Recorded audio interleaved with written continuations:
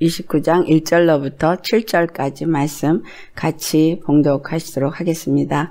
자주 책망을 받으면서도 목이 곧은 사람은 갑자기 패망을 당하고 피하지 못하리라. 의인이 많아지면 백성이 즐거워하고 악인이 권세를 잡으면 백성이 찬식하느니라. 지혜를 사모하는 자는 아비를 즐겁게 하여도 창기와 사귀는 자는 재물을 잃느니라. 왕은 정의로 나라를 견고하게 하나 뇌물을 억지로 내게 하는 자는 나라를 멸망시키느니라. 이웃에게 아첨하는 것은 그의 발 앞에 그물을 치는 것이니라. 악인이 범죄하는 것은 스스로 올무가 되게 하는 것이나 의인은 노래하고 기뻐하느니라. 의인은 가난한 자의 사정을 알아주나 악인은 알아줄 지식이 없느니라. 아멘. 이 말씀은 마치 이 시대에 우리에게 주시는 말씀 같습니다. 우리가 무엇을 준비해야 될지를 말해주는 것 같아요. 저는 이 말씀을 살펴보면서 제목을 어떻게 잡았느냐. 멸망을 자처하는 미련한 자가 되지 말고 의인이 되자. 이 땅에 믿지 않은 사람들은 뭐 말할 것도 없지만 믿는 사람들도 자기네들의 가는 길이 바르다고 생각하면서 가고 있지만 이 잠언 말씀을 보면 그것이 어떠한 길인가를 우리에게 제시를 해 준다는 거예요. 미련한 자가 되어지냐 아니면 하나님이 인정하시는 의로운 자가 되어지느냐. 우리를 인정해 주는 건 분명히 사람이 아니라 하나님이라고 말씀하시잖아요. 하나님이 인정하는 믿음의 사람이 되어야지 하나님이 보실 때 미련한 자, 어리석은 자 이렇게 보여진다면 멸망을 당하게 된다. 이와 같이 미련한 자나 어리석은 자, 악인의 길을 가는 자는 멸망을 자처하는 자이기 때문에 멸망을 자처하는 자에게서 빨리 벗어나서 하나님이 인정하시는 의인이 되어야만 하겠다라는 겁니다. 29장 1절에 보면 자주 책망을 받으면서도 목이 굳은 사람을 말하고 있어요. 자주 책망을 받았다. 주님의 사랑은 한없이 끝없이 우리를 깨우신다는 거예요. 구원을 받도록. 잘못 갈 때 그 잘못 가고 있는 것을 깨달아 알도록 말씀을 보내주시거나 또는 어떤 상황 속에서나 나의 허물이 드러나면서 내 안에 숨어진 죄악이 드러나면서 그것이 입으로 나올 때도 있고 행동으로 나올 때도 있고 내가 무엇을 회개해야 될지 무엇이 지금 내 안에 자리 잡고 있는지를 드러내 주신다는 거예요. 계속해서 하나님은 그런 걸 통해서 견책해 주신다는 거죠. 말하자면 회개할 기회를 주신다는 거예요. 끊임없이 우리 안에서 올라오는 우리의 육적인 사람들 그것을 하나님은 왜 계속 계속해서 우리에게 드러내시느냐 하면 회개할 기회를 주신다라는 겁니다. 회개할 기회를 주신다는 얘기는 하나님이 우리를 향한 사랑이 계속되고 있다라는 거예요. 우리가 하나님을 버리지 않은 이상은 하나님은 우리를 버리지 않으신다는 거예요. 언제까지 이 목숨이 끝나는 그 순간까지 버리지 않으십니다. 다만 우리가 멸망을 자초하는 자가 된다는 거죠. 말씀을 통해서 깨달아야 하는 거. 주님은 끊임없이 우리를 징계하신다는 거예요. 주님이 우리를 징계하시고 우리를 책망하시고 그럴 때마다 우리가 이 땅에서 얻어지는 육체의 어떤 영화, 기쁨 이런 것들을 소멸하게 하신다는 거. 시편 39장 11절에 이 인생이란 모든 것이 헛될 것뿐이기 때문이다 라고 기록하고 있습니다. 헛될 것 뿐이기 때문에 하나님은 이 헛된 것을 따라가지 아니하도록 헛된 것을 추구하지 아니하도록 헛된 것을 따라서 높아지려고 할 때 그 영화를 하나님이 취해 가시게 한다는 거야. 그래서 그걸 좀 먹었다라고 표현하고 있는 게 조금씩 조금씩 조금씩 그 육체를 따라가는 사람들이 그것을 따라가다가 거기서부터 떨어지게 되는 것을 경험하게 하는 거. 그게 축복이라는 거예요. 우리는 무엇을 믿고 무엇을 추구하고 내 마음에 어떤 것을 생각하면서 가고 있느냐라는 거예요. 오늘 우리가 부른 찬양처럼 날마다 숨쉬는 순간마다 그분이 하신 그 약속과 그 은혜를 생각하면서 매일의 삶을 살고 있느냐. 그렇지 않으냐. 하나님은 그래서 우리가 잘못을 행할 때에 계속해서 책망을 하면서 이 세상을 향해서 나아가려고 그러면 그걸 끌어내리신다는 거예요. 그걸 따라가지 못하게 하기 위해서. 내가 계속해서 세상을 향하고 나가고 있는데 그것을 그냥 둬서 잘 가는 거나 그래 가라 가라 가라 라고 안 하신다는 거예요. 세상을 향해서 가고 영적인 거가 메말라져 가고 있는데 계속 세상의 것을 추구하고 가고 있으면 하나님이 그럼 그 사람은 그냥 뒀느냐? 아니에요. 하나님은 그 사람에게 분명히 돌이켜서 회개하고 예수님 앞에 나올 수 있는 회개할 기회를 계속 주셨다는 거죠. 다만 다른 사람들은 그걸 모르는 걸 뿐인 거예요. 회개할 기회를 주셨는데 그것을 무시하고 듣지 아니하고 계속 자기가 원하는 그 길을 가니까 결국은 나중에는 화인 맞은 자가 되는 거예요. 화인 맞은 자가 되면 어떻게 돼요? 죄의식이 없어져요. 이제는 주님의 음성이 안 들려요. 주님의 음성을 듣고 주님의 말씀을 받고 살던 사람이 죄의 길을 가면요. 귀가 막혀버리고 눈이 멀어버려서 보이지도 않고 들리지도 않아요. 그러다 보니까 열심히 사역한다고 뭐 열심히 믿음 생활 한다고 잘하는 줄 알고 하다가 하나님이 받지 않는 삶을 살아서 주여 주여 했는데 나는 너를 모르노라. 이런 결과가 나온다는 거죠. 그래서 주님이 우리에게 책망을 주실 때에 우리는 바로 회개해야 돼요. 이 책망을 업신여기는 목이 고든 사람은 갑자기 패망을 당한다라고 말했잖아요. 잠언 1장 23절에 여기와 연관되는 말씀을 하고 있습니다. 23절로부터 24절까지 우리 봉독하시겠습니다. 같이 봉독하겠습니다. 나의 책망을 듣고 돌이키라. 보라, 내가 나의 영을 너에게 부어주며 내 말을 너희에게 보이리라.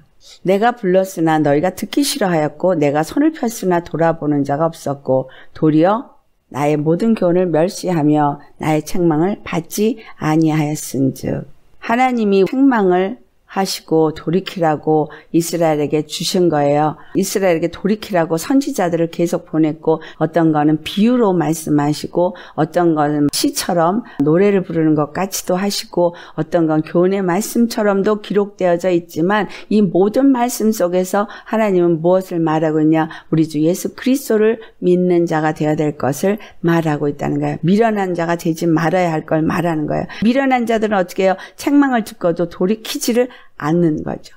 너희가 만약에 돌이키면 나의 영을 너에게 부어 주어서 내 말이 어떠한 것을 너에게 보이겠다는 거예요. 24절에 보니까 주님이 불렀지만 듣기를 싫어하였고 손을 폈지만 돌아오는 자가 없었고 25절에 도리어 나의 모든 교훈을 멸시하며 나의 책망을 받지 아니하였다고 말해요. 지금도 주님은 계속해서 이와 같이 어, 주님의 말씀으로 우리를 부르시고 어, 우리에게 돌이켜 회개하도록 하십니다. 그런데 듣기 싫어한다면 주님이 손을 펴고 이리 와라. 나에게 와라. 나에게 와서 쉬어라. 안식하라. 하는데 주님의 말씀을 듣지 않고 주님의 교훈을 멸시하는 자는 책망을 받을 수밖에 없고 결국은 갑자기 임하는 멸망에 처해지게 된다라는 것. 갑자기 임하는 멸망, 이 땅에 임하는 재앙을 말할 수도 있겠지만 우리가 가는 날을 모르잖아요. 갑자기 내가 이 세상을 떠날 수도 있거든. 매일의 삶에 나는 주님 앞에 언제라도 갈 수 있는 준비가 되어 있어야 한다는 거죠. 언제 갈지 모르니까 아직 내가 젊어서 아니면 주님이 계속 은혜를 주시니까 나를 안 데려가시나 보지. 아직도 시간이 많은 것 같아. 은혜 가운데서 신앙생활을 잘하는 사람은 오히려 일찍 데려가세요. 왜냐하면 잘 했으니까. 근데 오히려 그렇지 못한 사람들이 더 길게 살아요. 회개할 기회를 주시기 위해서. 26절을 보니까 너희가 재앙을 만날 때 내가 웃을 것이며 너에게 두려움이 임할 때 내가 비웃으리라. 내가 이렇게 불렀는데도 너희가 내 말을 듣지 않고 내 교훈을 멸시했기 때문에 너희에게 재앙을 만날 때 내가 웃는다는 거예요. 주님이 지금 이 땅에 재앙을 내리고 계시죠. 그런데 그걸 내리시면서 웃으신다라는 말은 뭐죠? 고소해 하신다는 얘기인가요? 아니죠. 두려움이 임할 때에 비웃으신다는 얘기는 너희들이 내 말을 듣지 않았고 너희가 원하는 대로 따라갔는데 그 결과가 어떠하냐. 그것을 보여주는 겁니다. 그걸 보여주는 것은 그 재앙 때문에 해를 당해서 죽는 사람들도 있지만 하나님이 작은 수의 사람들이 그 재앙을 당해서 죽게 되는 걸 허락하시는 이유는 사랑이에요. 그것을 보고 회개하고 돌이켜서 절대로 하나님이 부시는 재앙을 만나지 말라고. 근데 어때요? 코로나가 이렇게 해도 별로 회개하는 일이 없어요. 더 부르짖고 기도해야 되는데 별로 그런 분위기가 안 일어나고 있어요. 근데 소수의 사람들은 이것 때문에 골방으로 들어가서 주님 앞에 기도로 나아가거든요. 그러니까 양과 염소가 확실하게 나뉘고 있다라는 거죠. 27절에 보니까 너희의 두려움이 광풍같이 임하겠고 너희의 재앙이 폭풍같이 일겠고 너에게 근심과 슬픔이 임하리니 계속해서 재앙이 오게 될 것인데 안일하게 있을 수가 없는 거예요. 두려움들이 광풍같이 임하고 재앙이 폭풍같이 임할 것이라는 거예요. 그럴 때 사람들이 28절에 그때 너희가 나를 부르리라 그래도 내가 대답하지 아니하겠고 부지런히 나를 찾으리라 그래도 나를 만나지 못하리라. 주님이 부지런히 부를 때 대답하지 아니하고 기울이지 아니하고 자기 생각을 버리지 아니하고 산 사람들에게 하나님은 그들이 이제 주님을 찾고 돌이키고자 했을 때 하나님도 똑같이 너희가 한 대로 나도 하겠다라는 거예요. 하나님은 사랑이신데 어찌 이러실 수가 있으시냐고 우리가 말할 수 있겠죠. 그런데 하나님은 그 사람들에게 끝없는 기회와 돌이킬 수 있는 책망을 하셨다라는 것을 우리는 모를 뿐인 거죠. 29절에 대저 너희가 지식을 미워하며 여호와 경외하기를 즐거워하지 아니하며 나의 교훈을 받지 아니하고 나의 모든 책망을 없인 여겼습니다. 라고 말합니다. 주님의 말씀을 우리 절대 없인 여기지 마셔야 돼요. 오늘 이 잠언 말씀은 우리에게 주님이 지금 깨어 일어나도록 주시는 말씀입니다. 잠언에 이런 말씀이 있구나 하고 지나가시면 안 돼요. 하나님 앞에 내가 어떤 마음이고 내가 어떤 삶을 살고 있는가 돌아보시면서 정말 내게 재앙이 폭풍같이 호련히 갑자기 많은 이런 일을 만나지 아니하도록 주님의 말씀을 주님의 경책하시는 이 말씀을 정말 귀 기울여 들으셔야 한다는 거예요. 분명히 잠언 1장 31절에 말하고 있어요. 자기 행의 열매를 먹을 거라는 거. 그리고 자기 꾀에 배부를 것이라는 거. 우리가 주님 앞에 어떤 자가 될 것이냐. 어리석은 자가 되어지면 어리석은 자의 퇴보는 자기를 죽이고 미련한 자의 안일은 자기를 멸망시킨다라고 32절에 말하죠. 그러면 어떻게 해야 돼요? 33절 같이 봉독하겠습니다. 33절 오직 내 말을 듣는 자는 평안히 살며 재앙의 두려움이 없이 안전하리라. 여러분 이 말씀 믿으십니까? 주님의 말씀을 듣는 자, 경청하는 자, 순종하는 자. 그 말씀이 늘 그러한가 해서 그 말씀 앞에 순종하는 그분을 경외하는 믿음의 사람. 주님의 말씀 하나를 허투루 듣지 않는 사람. 이 사람들에게는 평안히 살게 하시고 재앙의 두려움이 없이 안전하게 하신다라는 거예요. 대강 지나갈 수 있는 말씀이 아니죠. 2절에 의인이 많아지면 백성이 즐거워하고 악인이 권세를 잡으면 백성이 탄식하느니라. 의인이 많아지면 빛의 나라가 세워지겠죠. 악인이 권세를 잡으면 어둠의 나라가 세워지는 거예요. 빛과 어둠의 나라 속에서 우리는 어떤 사람이 되셔야겠느냐. 로마서 8장 19절 말씀에 피조물이 고대하는 바는 하나님의 아들들이 나타나는 것이니 20절 같이 봉독합니다. 피조물이 허무한데 굴복하는 것은 자기 뜻이 아니요 오직 굴복하게 하시는 이로 말미암으라 21절 그 바라는 것은 피조물도 썩어짐에 종노릇한 데서 해방되어 하나님의 자녀들의 영광의 자유에 이르는 것이니라. 22절 피조물이 다 이제까지 함께 탄식하며 함께 고통을 겪고 있는 것을 우리가 아느니라. 피조물이 왜 고통을 겪고 있어요? 악인이 권세를 잡았기 때문에 피조물이 고대하는 것은 하나님의 아들이 나타나는 것이라는 거예요. 이스라엘이 범죄를 하면서 믿음의 사람들이 계속 범죄를 하면서 구원의 메시아가 나타날 때를 이 피조물들이 기다린다는 거예요. 사람이 타락을 하면 자연 만물도 파괴가 되죠. 얼만큼 이 땅이 오염되어지고 자연이 파괴가 되었는지 믿고 먹을 만한 게 없는 시대가 되었다는 거예요. 사람이 스스로 죽을 길을 만들고 있다는 거죠. 스스로 독먹을 짓을 하고 있다라는 거죠. 그러니까 피조물들이 다 탄식을 하는 거예요. 악인이 권세를 잡으니까 그런 걸 자꾸 만들어내서 결국은 세상이 어둠으로 가득해졌습니다. 피조물은 어쩔 수 없이 굴복할 수밖에 없어요. 아담에게 만물을 다스리는 권세를 줬죠. 근데 그게 전부 다 누구에게 넘어갔어요? 사단에게 넘어갔어요. 그러니까 사단에게 어쩔 수 없이 종로를 탈 수밖에 없어요. 굴복할 수밖에 없어요. 그러니까 피조물들은 종로를 타는 데서부터 해방되어지기를 원하여서 너무너무 간절히 기다리고 있다라는 거죠. 예수 그리스도가 하나님의 아들이 땅에 오셔서 이것을 회복을 했어요. 근데 사도 바울이 뭐라 그래요? 이제까지 함께 탄식하며 함께 고통을 겪고 있는 것을 우리가 아노라. 피조물이 다 같이 탄식하고 같이 고통을 겪고 있다는 거예요.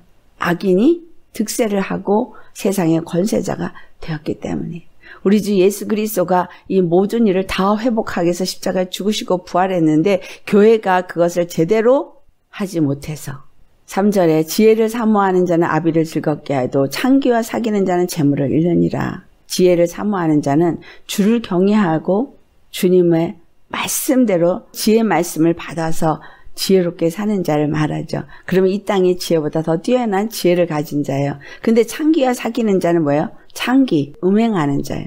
음행하는 자와 사귀는 자. 이 사람을 야고보서 4장 4절에 어떻게 표현하고 있어요? 가늠한 여인들아 세상과 벗된 것이 하나님과 원수됨을 알지 못하느냐라고 말하죠. 그런즉 누구든지 세상과 벗이 되고자 하는 자는 스스로 하나님과 원수가 되는 것이니라. 세상과 내가 벗이 되고자 하면 여러분 기억하셔야 됩니다. 하나님과 원수가 된다는 거. 세상에서 지금은 나와야 될 때예요. 근데 왜 그렇게 꼭 해야만 하느냐라고 말해요.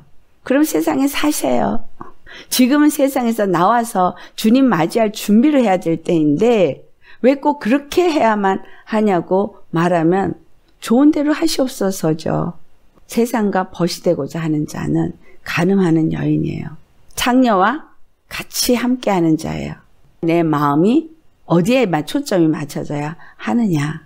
내 심령이 할례를 받는 의미가 뭔지 여러분 다 아시죠? 오직 십자가에 내가 죽었는데 어떻게 세상과 짝하자고 세상과 친하자고 하겠느냐라는 겁니다. 여러분은 왕이라 그랬잖아요. 세상을 지배해야죠. 세상을 다스려야죠. 통치해야죠. 근데 그게 관념이 됐어.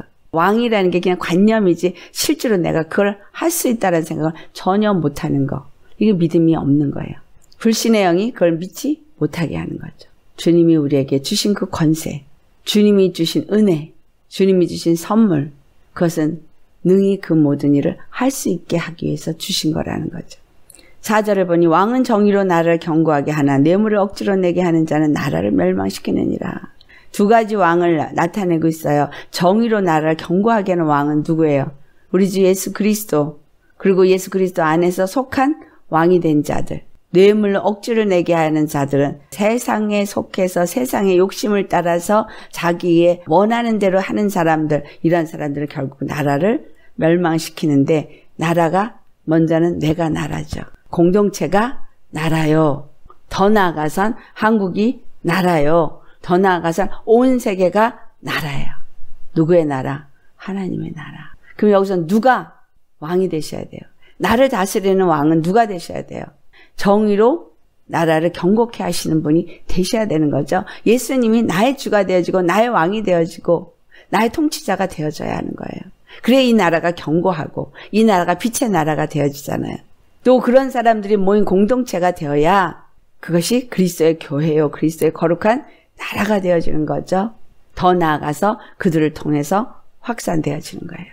창대케 되어지고 번성케 되어지고 충만케 되어지는 역사 있으셔야 합니다.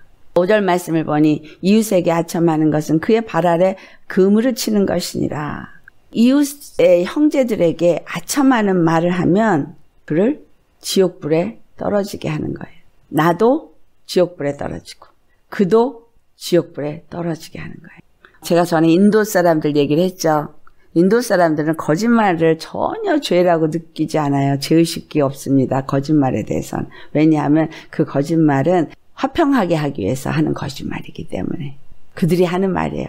다툼이 일어나지 않게 하기 위해서 거짓말을 하는 것이기 때문에 그 거짓말은 하얀 거짓말이니까 죄가 아니라고 생각한다는 거죠. 아첨. 이게 바로 두 마음을 품은 자들이 하는 짓이에요. 안에 있는 마음과 겉으로 나타나는 이 말이나 행동이 같으냐? 아첨하는 사람은 같지 않죠. 두 마음을 가진 자입니다. 주를 두려워하는 자라면 절대 아첨하지 않아요. 왜? 아첨은 거짓말이니까. 주를 두려워하는 사람은 거짓말을 하지 않으니까 진리를 말하죠. 그렇다 그래서 다른 사람의 허물을 있는 그대로 고지고대로 말하라는 얘기가 아니라 그리스도를 사랑하고 경외하는 그러한 사람은 이 마음이 사랑의 밭을 가졌잖아요. 사랑의 마음을 가졌으니까 당연히 사랑이 흘러나오죠. 그래서 이 사랑이 입에서 흘러나오는 거지 거짓말을 하는 것이 아니고 그런데 이 안에 죄의 마음을 가진 사람은 사랑의 말이 나올 수가 없는데 아첨의 말을 하는 거니까 거짓말을 함으로써 속에서는 미워하면서 입으로는 사랑하는 것 같이 말하는가. 거짓을 말하는 거예요. 그리고 그 아첨의 말, 아첨의 행동으로 상대를 하여금 높아지게 하는 거죠. 그 사람을 그물에, 올무에 빠지게 하는 거예요. 올무에 빠지게 하고 자기도 그 올무에 빠지는 거예요. 하나님은 아첨하는 입술과 자랑하는 혀를 끊으신다 그랬어요. 아첨하는 사람들은 우리들의 혀가 이길이라 우리를 주관할 자가 누구리요? 우리의 입술이 말하는데 누가 날 주관하랴 한다는 거예요. 말을 이렇게 하는 것만일까요? 아니요. 이런 말씀을 듣고도 내 맘대로 내 입술을 주관해서 하고 싶은 대로 하는 사람.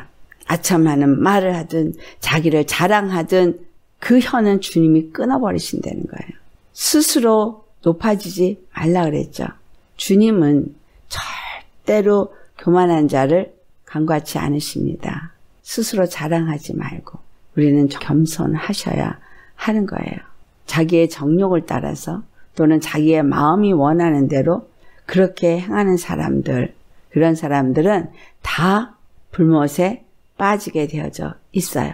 이런 사람들을 향해서 유다서 1장 16절에 사람들을 원망하고 불만을 토하고 정욕대로 행하는 자라고 표현하고 있어요. 그런데 이 사람들은 그 입술을 벌려서 자랑하는 말을 하고 자기의 이익을 위하여서 아첨을 한다라는 거예요. 그러니까 아첨을 하는 이유는 뭐예요? 자기가 잘 보이기 위해서, 그 사람에게 잘 보이기 위해서. 그리고 좋은 소리를 듣고 인정받기 위해서. 근데 오직 옳다 인정함을 주시는 이는 하나님 한 분이라 그랬죠. 우리 절대 아첨하지 맙시다. 거짓말하지 맙시다. 자기 자랑하지 맙시다.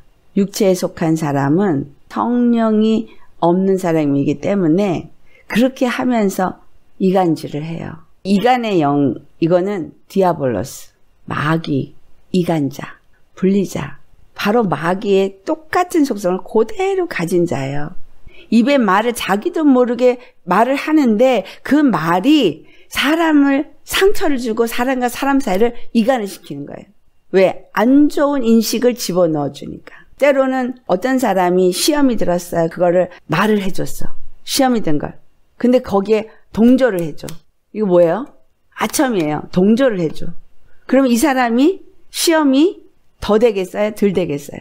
목사와 성도 사이에서 성도가 목사한테 시험이 들었으면 그것을 나한테 와서 말할 때 그것을 풀어주는 자가 돼야 되는데 화평케 하는 자가 돼야 되는데 이 사람을 편을 들어주면 목사하고 더 등을 돌리게 만들면서 결국은 그 성도가 그 교회를 떠날 수밖에 없죠. 말씀의 은혜를 못 받으니까 이 사람을 뭔가 높이고 편이 돼주는 것 같이 하지만 그 순간에는 이 사람이 좋아라 할 수 있겠지만 결국은 돌아서서 어떻게 생각하겠어요?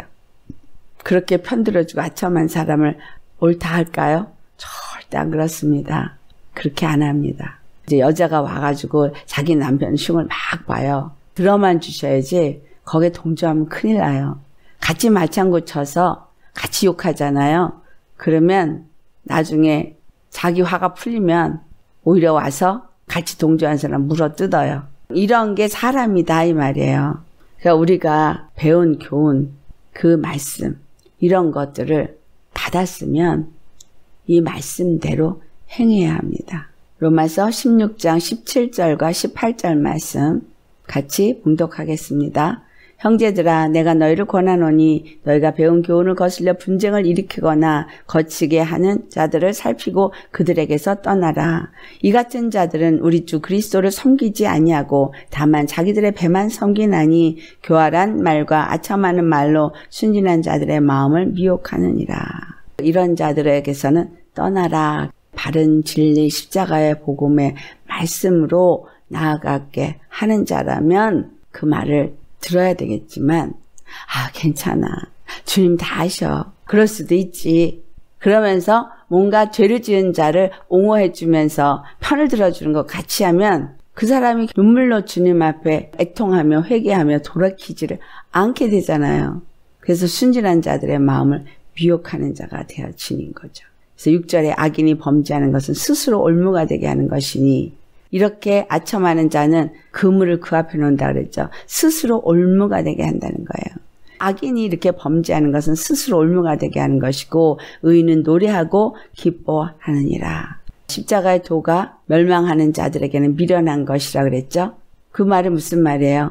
그물이 되고 올무가 되어지는 거예요. 십자가의 도의 말씀은 그 말씀을 받아들인 자에게는 인자의 말씀이 되어져요. 구원의 말씀이 되어집니다. 그러나 그렇지 않은 자에게는 그 말씀은 거치는 돌이 되어지고 넘어지는 반석이 되어진다는 거예요.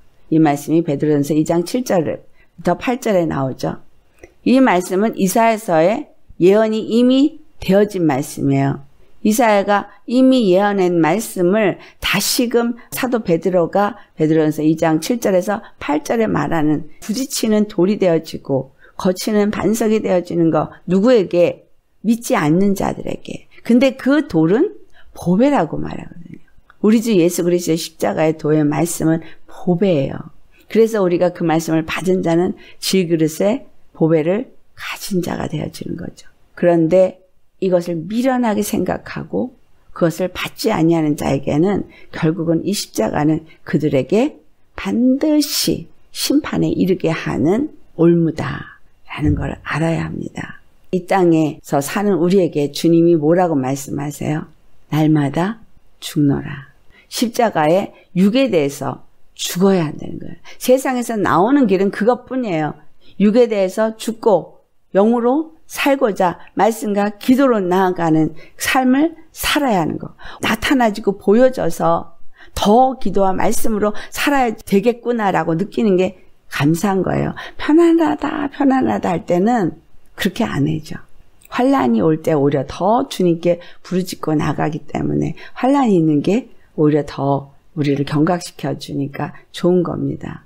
그런데 많은 사람들이 돈을 좋아하잖아요. 디모데전서 6장 9절에서 10절 말씀처럼 부하려고 하는 자들은 시험과 올무를 당하게 되어지는데 돈이 일만하게 뿌리라는 거예요. 그들이 미혹을 받아서 믿음에서 떠나게 하고 옆구리에 올무가 되고 채찍이 되어지게 되는 겁니다. 의인으로서의 삶을 사는 사람은 이런 것에서부터 피해서 따로 나와야 해요. 피해서 나오셔야 합니다. 돈을 사랑하지 마십시오. 돈을 만져도 돈을 사랑하지 마시라는 거예요. 돈이 있어야 산다라는 생각을 하지 마시고 예수님이 있으면 산다라는 생각을 하면 되는 거예요. 기도를 방언을 하면서 생각은 계속 딴 생각을 하면서 기도를 한 적이 있었어요. 주님이 뭐라냐? 기도 못하고 있다라고 말해요. 말하자면 기도를 잘 하지 않는다 이 말이 아니고 안 하고 있다, 못 하고 있다 라고 말씀하시더라니까요.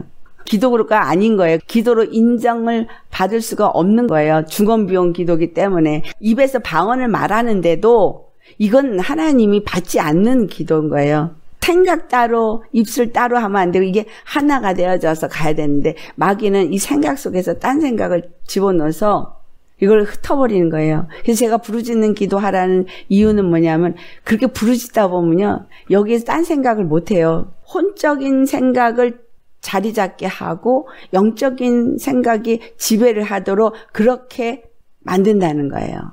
그래서 부르짖는 기도를 어느 만큼 하고 나서 그 다음에 기도로 들어가면 훨씬 잡념이 안 생기죠. 근데 그때도 또 치고 들어오거든요. 그래서 정말 예수님 앞에 몰입을 해서 기도하셔야 돼요. 안 그러면 입술 따로, 생각 따로 주님이 받지 않는 기도를 하게 되더라. 라는 거예요. 이런 것들을 피하고 의와 경건과 믿음과 사랑과 인내와 온유를 따라야 되죠. 믿음의 선한 싸움을 싸우고 영생을 취하라. 어디에 있는 말씀이에요? 디모데전서 6장 11절과 12절에 있는 말씀입니다. 의인이 된 사람이 되어야 하는 이유가 7절이 말해주고 있어요. 의인은 가난한 자의 사정을 알아준대요. 의인은 하나님의 지혜 말씀을 받고 하나님의 사랑의 마음을 가진 자가 되어져서 가난한 자를 향한 하나님의 뜻이 무엇이고 마음이 어떠한지를 알죠. 가난한 자는 누구를 말해요? 주님의 은혜를 모르는 자, 고통하고 피폐해서 고통당하고 있는 자, 먹을 것이 없고 입을 것이 없고 잠잘 것이 없는 자. 그러니까 영적으로는 주님의 말씀을 먹지도 못하고 주님과 교통도 안 되고 주님으로 거룩한 옷도 입지 못하고 주님의 집에 거하지도 못하고 예수님과 연합도 안 돼 있고 가난한 자예요. 근데 이러한 가난한 자들에게 어떻게 해 줘야 될지를 지혜 있는 자는 알거든요. 그러니까 그들의 영적 상태를 분별하여 알고 그들에게 맞춤형 전도를 할 수 있는 자, 이게 의인인 거예요. 그래서 가난한 자의 사정을 알아주고 그들에게 맞추어서 내가 가진 부여를 나눠주어서 그도 나와 함께 예수 그리스도 안에서 부유한 자가 되게 하는 일을 할 수 있죠. 그러나 아기는 알아줄 지식이 없느니라. 아기는 하나님의 뜻도 몰라, 하나님의 마음도 몰라, 어떻게 해야 될지 몰라. 오히려 가난한 자가 가진 마지막 그 고독까지도 빼앗아내는 멸망으로 치닫게 하는 것이 악인이죠. 그럼 이건 지금 뭘 말씀하고 있는 거예요? 정말 하나님의 지혜를 가진 의인이 되어야 한다. 예수님의 지혜를 가졌을 뿐만이 아니라 영들을 분별할 수 있는 분별력을 가진 자가 되어야 된다. 자, 여러분, 기도해야 될 건 영분별의 은혜를 주시도록 구하셔야 합니다.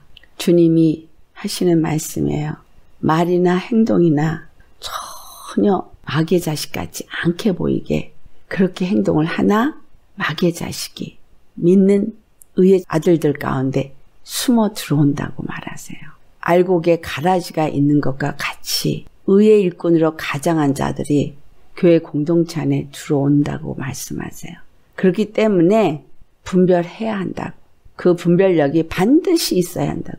아니면 가로주다 같이 예수님을 파는 일을 하는 자처럼 공동체를 깨뜨리고 흩트는 일을 하는 자가 있다라는 겁니다. 오늘 1절로부터 7절까지 있는 이 말씀을 보니 어떻게 사는 자가 되어야 될지를 말해주고 있잖아요.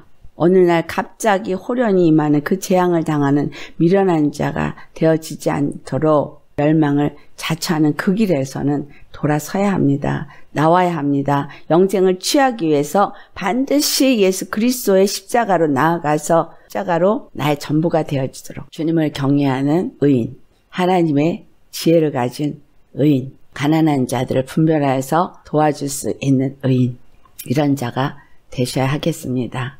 우리의 마음에 항상 기쁨과 화평함이 있어야 돼요. 기도를 열심히 했는데 마음에 화평이 없어요. 그러면 기도 잘못한 거죠. 기도를 하고 나면 반드시 증상이 있어야 돼요. 기도를 제대로 했다면 증상이 있어요. 무슨 증상? 힘을 얻는 증상. 뭔가 자유함을 느끼는 증상. 마음의 평화를 얻는 증상. 기쁨을 얻는 증상. 뭐가 와요. 근데 아, 기도를 했는데 정말 소리 지르고 오랫동안 기도했는데 마음이 오히려 다운이 되어지고 오히려 착잡하고 음침해지면 기도 잘못한 거예요. 반드시 기도는 소망을 가진 상태에서 기도하는 거예요. 날마다 숨 쉬는 순간마다 예수님의 그 약속을 바라보신다면 소망이 있습니다. 그래서 멸망에 처하기 위해서 그 길을 가는 미련한 자들에게서는 우리는 반드시 분리돼서 나오셔야 되고 주님이 인정하시는 옳다 인정함을 받은 그러한 의인이 되시기 위해서 날마다 십자가에 죽고 예수 그리스도의 영으로 사는 자 되시기를 예수님을 축원합니다. 말씀과 기도로 그러면서 주님과 더 깊은 교제 가운데로 나가시면서 승리하시는 자가 되기를 축원합니다. 기도하시겠습니다. 할렐루야 거룩하신 아버지 참 감사드립니다. 멸망에 처하는 그 미련한 자들이 너무나 우리 주에 많습니다. 그것을 보고 우리가 또 그 길을 가는 자가 되지 않게 하옵시고 무엇이 옳은 길이고 무엇이 바른 길이고 어떻게 살아야 될지를 다시 한번 우리를 돌아보며 생각하게 하옵시고 우리는 이러한 세상에서부터 나와서 영생을 취하는 자가 되게 하옵시고 세상에서 구별된 자가 되게 하여 주시옵소서. 참으로 많은 사람들이 돈을 사랑하고 그래서 돈을 사랑함으로 미혹을 받아서 믿음에서 떠나 고통을 당하게 되고 이 세상에서 주는 돈과 명예와 영화를 따르다가 결국에는 마귀에게 의해서 멸망하고 심판에 이르게 되는 것을 우리 눈앞에서 봅니다. 우리는 춤추는 순간마다 예수님만 생각하게 하시고 예수님의 은혜만 생각하게 하시고 예수님의 그 약속을 의지하게 하옵시고 그래서 십자가 앞에 날마다 나아가서 육에 대해선 죽은 자가 되어지고 영에 대해서 산 자가 되게 하여 주옵소서. 하늘의 지혜로 사는 자가 되어지고 성령님이 우리 안에 임하셔서 영들을 분별하는 자로 살게 하옵시고 마지막 때에 주님 오실 때를 준비할 수 있는 믿음의 사람들이 다 되어질 수 있도록 은혜 내려 주옵소서 감사하고 우리 주 거룩하신 예수님의 이름 받들어 기도드렸사옵나이다. 아멘.